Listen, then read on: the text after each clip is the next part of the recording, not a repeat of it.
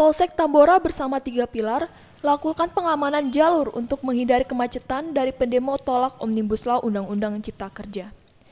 Demonstran datang dari berbagai latar belakang, baik dari mahasiswa, ormas, dan dari berbagai kelompok buruh.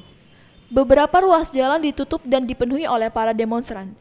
Pihak Polsek Tambora Polres Metro Jakarta Barat beserta jajarannya melakukan pengalihan arus lalu lintas di kawasan pertigaan Jalan Ketapang yang akan mengarah ke Tugu Tani, Jakarta Pusat.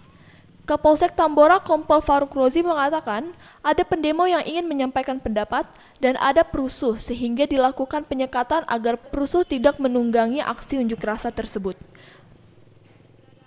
Mana jalur e, perlu diketahui bahwa ada dua, ada pendemo yang ingin menyampaikan pendapat, ada perusuh. Nah, yang kita antisipasi itu masuk ke wilayah Jakarta Pusat Istana Negara itu adalah perusuh. Kalau untuk pendemonya sendiri, karena itu hak setiap warga negara menyampaikan pendapat, tetap kita laksanakan pengamanan jalurnya.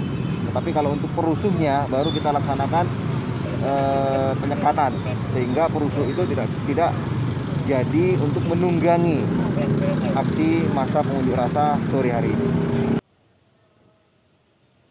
Dari Jakarta, Lulu Wita dan Fitri, Tribrata TV, salam Tribrata.